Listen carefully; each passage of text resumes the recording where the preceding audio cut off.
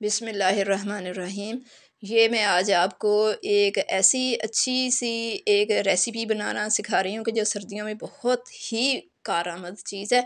इसमें बादाम है मेरे पास। बादाम के बाद ये गूंद है, जिसे गूंद कतीरा भी कह देते हैं। और ये है कमरकस।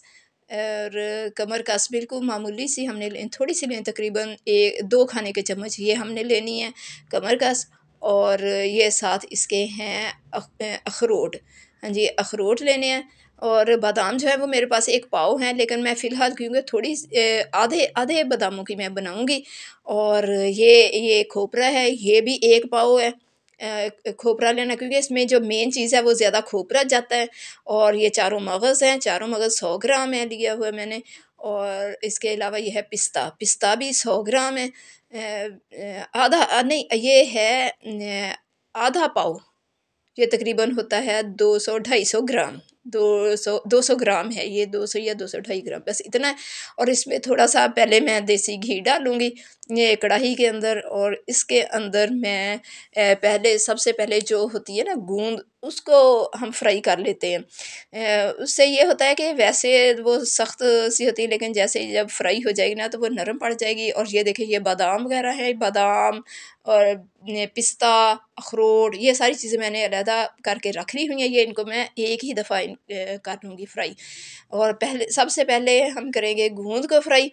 ये देखिए ये गूंद के मैंने छोटे छोटे से पीस करके ना इसमें डाल दिए हुए हैं और कुछ अगर कोई थो, थोड़ा सा बड़ा पीस भी होगा तो वो भी आसानी से हो जाएगा इसमें फ्राई।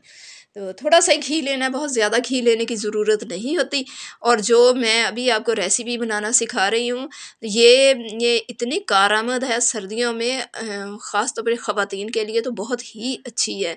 जिनकी डिलीवरी हुई भी होती है तो उसके बाद ख़वातीन के लिए भी ये बहुत फ़ायदेमंद चीज़ है और या आम बच्चियों को भी दे सकते हैं आप और आम ख़वातीन जिनमें होता है कि कमर का दर्द या कोई और इस तरह के मसले होते हैं, उसमें ये बहुत ही फ़ायदेमंद चीज़ है। तो ये देखें ये चारों गूंद जो हैं, ये चारों गूंद भी से कह देते हैं गूंद कतीरा भी कह देते हैं। ये गूंद जो होती है ना, ये ये देखें, ये अब फूलना शुरू हो गई है, ब्राउन ब्राउन, हल्की ब्राउन हो गई है और ये बिल्कुल नरम हो जाती है। और ये इसे हाथ से भी तोड़े तो टूट जाती है और ये बादाम वगैरह हैं, बादाम, पिस्ता, अखरोट और ये सा, इन सारी चीज़ों को मैं फ्राई कर लूँगी। इनको बिल्कुल हल्की आँच पे फ्राई करना है, बहुत ज़्यादा तेज़ आँच पे नहीं है क्योंकि ये जल्दी जल जाते हैं इसके अंदर ख़ुद इनके अंदर ऑयल होता है। तो इसलिए ये ड्राई नट्स जो होते हैं, ये हल्की सी आँच पर ही, हल्के घी के अंदर ही इनको फ्राई करना पड़ता है। तो अब ये तकरीबन अब हो चुके हुए हैं, मैं इनको निकाल लूँगी। अगर ये ज़्यादा देर पड़े रहे तो इनमें ना फिर वो कड़वे कड़वे से होना शुरू हो जाते हैं या ब्लैक होना शुरू हो जाते हैं। बहुत ज़्यादा नहीं इनको फ्राई करना, हल्का सा बस फ्राई करना है। और ये देखें, करके निकालिए और बाकी चीज़ें जो हैं, वो मैं, जैसे कमर कस या चारों मगज़ वगैरह, वो मैं अलहदा से वो ग्राइंड कर लूँगी, उसको फ्राई करने की ज़रूरत नहीं होती। वो वैसे ही हमने कर लेने हैं, ग्राइंड कर लेने हैं इनको।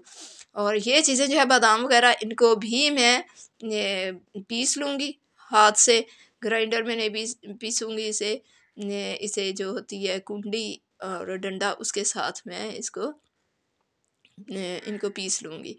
अब ये हमारे पास जो घी बच गया, ये भी ज़ाया नहीं जाएगा। अब ये देखिए, ये वही कढ़ाई जो मैंने घी निकाल लिया है और उसी के अंदर मैंने दूध डाल दिया। ये दूध जो है मेरे पास तकरीबन ये डेढ़ किलो दूध है और उसके अंदर ये मलाई है। ये दो दिन की मलाई जमा हुई हुई थी। ये काफ़ी सारी मैंने ये अंदर डाल दी है मलाई और थोड़ी सी फिर ज़रूरत पड़ेगी तो और भी हम इसमें शामिल कर देंगे। तो ये देखें, ये मलाई जो है, इसमें थोड़ी सी मैं और शामिल कर देती हूँ। यहाँ से ये फ्रीज़र में से चूँकि मैंने निकाल के सुबह से मैंने रखी हुई थी तो अभी तक ये है, सख्त है। क्योंकि सर्दियाँ, सर्दियों में जल्दी ये मेल्ट नहीं होती तो इसमें मैं थोड़ी सी ही शामिल करूँगी और क्योंकि पहले ही काफ़ी सारी हो चुकी हुई है। तो इसी के अंदर बस अभी जो है, ये पकना शुरू हो जाएगा दूध। इसमें हम शामिल कर देंगे खोपरा जो है नारियल, वो क्रश किया हुआ है, ये पूरा एक पाव है।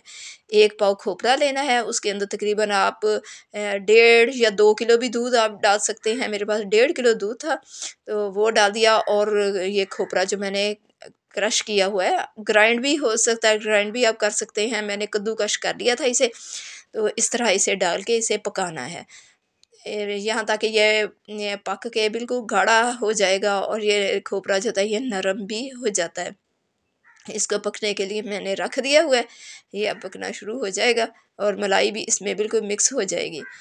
तो ये इसमें अच्छी खासी चकनाई बन जाती है क्योंकि घी का ज़्यादा इस्तेमाल नहीं होता। मलाई जो डाली है उसने, उसके अंदर भी ऑलरेडी घी होता है तो उसने भी घी छोड़ देना होता है। तो इसलिए ये देखें, ये बादाम वगैरह जो पड़े हुए हैं, इनको अब अलहदा से पीस लेते हैं। पहले मैं जो गूंद फ्राई की हुई थी, उनको पीस लेती हूँ। अलहदा से इनको पीस के मैं रख लूँगी और फिर बाद में जब तक हमारा जो दूध है और खोपरा है, वो पक रहा है, जब तक ये हमारा, ये भी पीसने का अमल हो जाएगा। ये देखें, ये दूध पकना शुरू हो चुका हुआ है और आहिस्ता आहिस्ता ये अब गाढ़ा होता जाएगा। क्योंकि ये जल्दी गाढ़ा हो जाए, गाढ़ा दूध है और इसमें मलाई वगैरह भी है, इसलिए ये जल्दी गाढ़ा हो जाए। देखिए, गूंद मैंने पीस के रख ली हुई है, ये देखिए साइड पे आपको नज़र आ रही होगी, ये देखिए, ये गूंद बिल्कुल बिल्कुल पाउडर की शक्ल में बन जाती है। और ये बादाम जो है, क्योंकि ये फ्राई करने से ये होता है कि ये नरम पड़ जाते हैं। अखरोट अखरोट तो वैसे ही नरम होते हैं, ज़रा बादाम की गिरी थोड़ी सी सख्त होती है, उन्हें कूटना, इस तरह ये पीसना ज़रा थोड़ा सा मुश्किल होता है। तो जब इनको घी में फ्राई कर दें तो उसका ये होता है कि जल्दी पीस जाता है। और ये चारों मगज़ जो है, ये देखें, ये इनको मैं ग्राइंड कर लूँगी, क्योंकि ये नरम होते हैं तो बड़ी आसानी से ग्राइंड हो जाते हैं।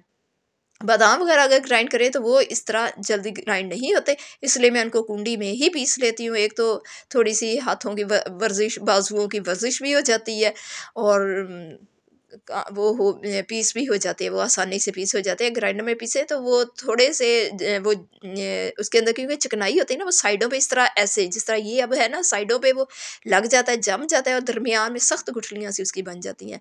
अब ये देखें जी, ये दूध और खोपरा जो है, ये पक रहा है और गाढ़ा होना शुरू हो गया हुआ है।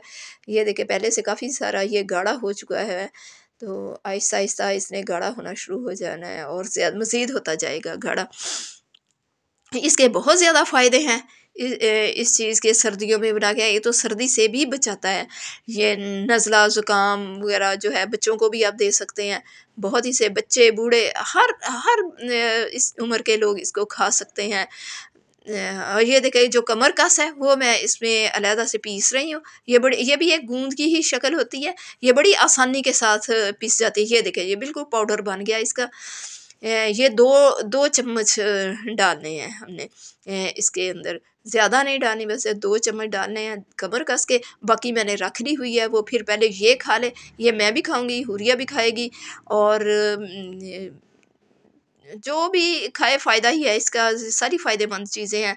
तो ये मज़ेदार भी बहुत बनता है। और आसानी से खा भी हो जाता है। ये देखिए जी, दूध खुश्क हो चुका है यहाँ पे, बिल्कुल वो गाढ़ा जो है ना, खोपरा जो है वो उसमें गाढ़ा हो गया। दूध की आपको इसमें ना फुटकड़ियाँ सी नज़र आ रही होंगी।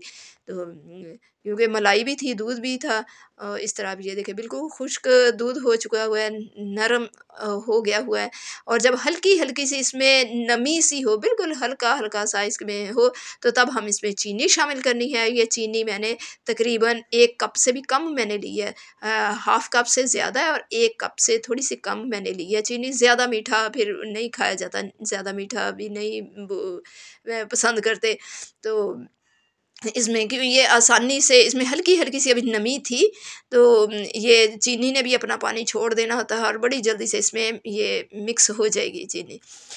और बाकी अब बाकी, साथ ही दूसरी चीज़ें जो हैं, वो भी मैं इसमें शामिल कर दूँगी, जो मैंने पीस के रखी हुई है। मेरे बादाम भी पीस चुके हुए थे और बाकी दूसरे जो मैंने कुछ चीज़ें ग्राइंड कर ली थी। अब इसमें देसी घी डालना है तो बिल्कुल मामूली सा ही डालना है। ज़्यादा नहीं, सिर्फ़ एक खाने का चम्मच। ये एक चम्मच इसमें देसी घी डालूँ, डालूँगी। तो क्योंकि जो कमर कस है और गूंदे वगैरह है ना, ये थोड़ी सी होती है, खुश्क कमर कस जो होती है वो खुश्क होती है।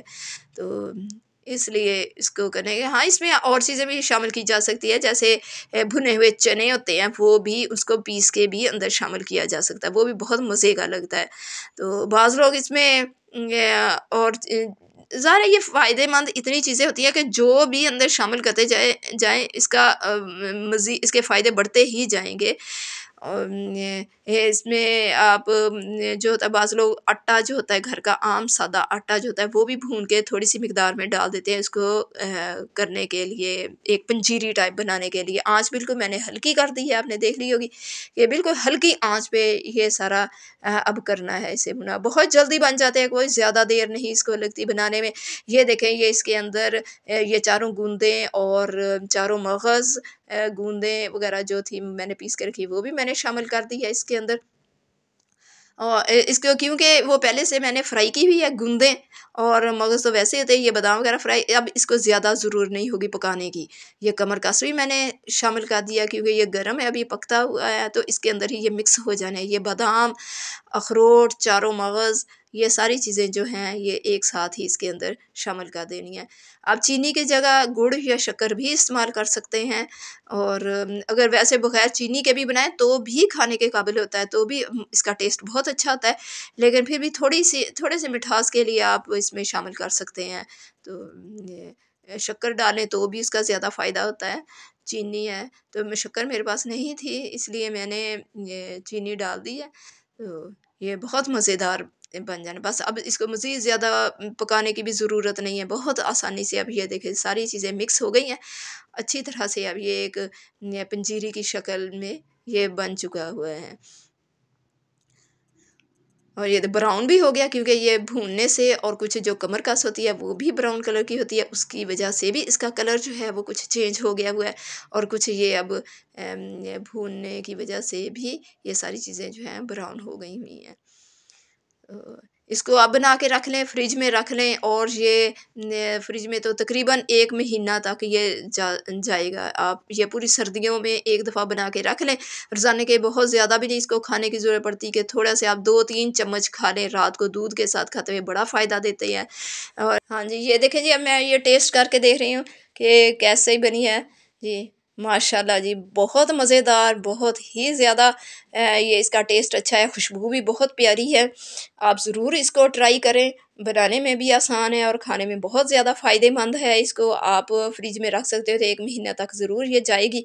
और अगर ये आज की मेरी ये रेसिपी आपको पसंद आई पसंद आ गई हो तो आप इसको लाजमी लाइक करें शेयर करें कमेंट्स ज़रूर कर देना कि आपको कैसी लगी है ये रेसिपी और जिन्होंने अभी तक मेरे चैनल को सब्सक्राइब नहीं किया तो लाजमी सब्सक्राइब कर दें और ये सर्दियों का मौसम अब शुरू हो चुका हुआ है तो ये ज़रूर बना के इसमें ज़्यादा ख़र्चा भी नहीं आता, ज़रूर बनाएँ। इसके साथ ही मुझे इजाज़त दीजिए जी। अल्लाह हाफिज़, दुआ में याद रखना जी। अल्लाह हाफिज़।